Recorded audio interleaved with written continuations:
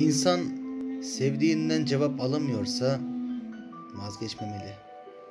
Rabbinin belki hayatının son zamanlarında öyle güzel yazgıları vardır ki yaşamadan aşkı görmemezlikten gelmemeli.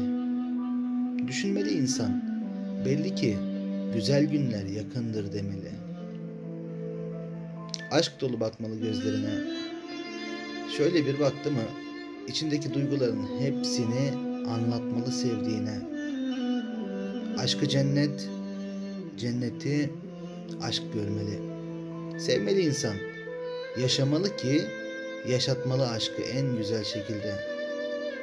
Gözle görüleni değil de gözle görülmeyen yüreğinin sesiyle bağlanmalı birine. Öyle sevdalanmalı ki eşi benzeri olmamalı yeryüzünde.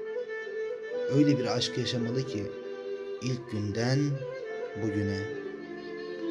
Sıkılmadan, bıkmadan, usanmadan, kızmadan ve kırmadan nefesi gibi sevmeli. Annesine anneciğim diyen çocuk, babasına babacığım diyen kız gibi sevebilmeli. Çalışmaktan yorgun düşse de belli etmeden her ikisini de mutlu edebilmeli. Hatalarını yüzüne vurmak yerine olacağı varmış. Sağlık olsun. Bu da geçer demeli. Evin içinde yahut evin dışında sesini yükselterek kırmamalı. İnsanların kalbi Kabe gibidir. O kadar çok yorulmuşum ki hiçbir şeye gücüm kalmamış. Ama iş yapmaktan falan yorulmadım. İnsanların kötü sözlerinden, düşünmeden konuşmalarından, kalbimi kırmalarından yoruldum. Ben mutsuz olduğumda ve sinirli olduğumda hiç konuşmak istemiyorum.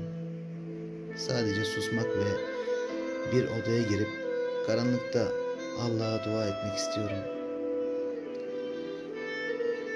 Küçüğünden büyüğüne, gencinden yaşlısına hürmet etmeli ki insan insanlığını kaybetmemeli.